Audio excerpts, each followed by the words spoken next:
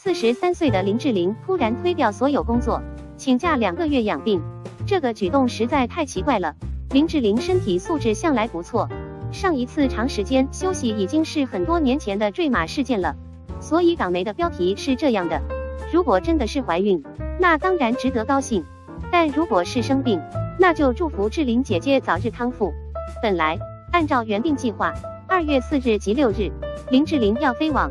北京、香港等地宣传郭富城与赵丽颖主演的贺岁电影《西游记之女儿国》，志玲姐姐在片中饰演河神。之后，她还要马不停蹄地在内地各大城市进行宣传活动。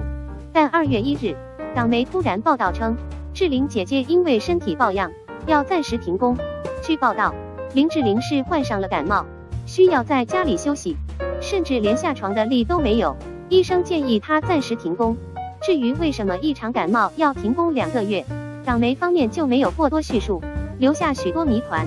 电影负责人陈小姐表示，我们在一月三十一日晚收到林志玲经纪人电话，说志玲身体不舒服，接下来一两个月的工作全部都要取消，包括接下来的宣传，她都不能参加。我们没有追问详细情况，此处应该划重点，希望她早日康复，保重身体。一般而言。演员与电影公司签约的时候，都会注明要为电影跑多少次宣传，而林志玲此次的情况，应该是在电影公司理解范围之内，所以才会接受她的请假。如果林志玲真的怀孕了，那就是天大的喜事。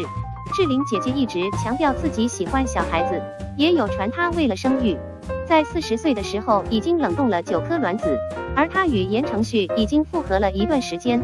所以媒体都推断。他这次请假可能是有喜要留在家里安胎，而林志玲的个人微博账户最近一次上载近照已经是半个月前，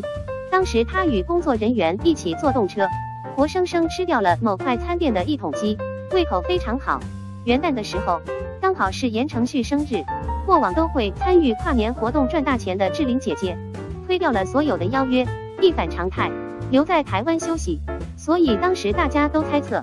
她是特地空出时间与男朋友庆祝生日，而这半年以来，言承旭也处于休息阶段。他最近一次露面是在一月十八日出席朋友的私人聚会，两人合照被曝光。为了维护这段得来不易的感情，林志玲与言承旭都非常努力。以前他们分手的原因可能是各有各忙，但现在有足够的时间培养感情，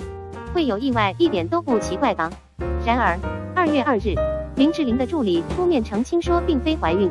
但却另外有传志玲因为新片女主角并非自己，而是赵丽颖，导致无力配合宣传。不知大家怎么看？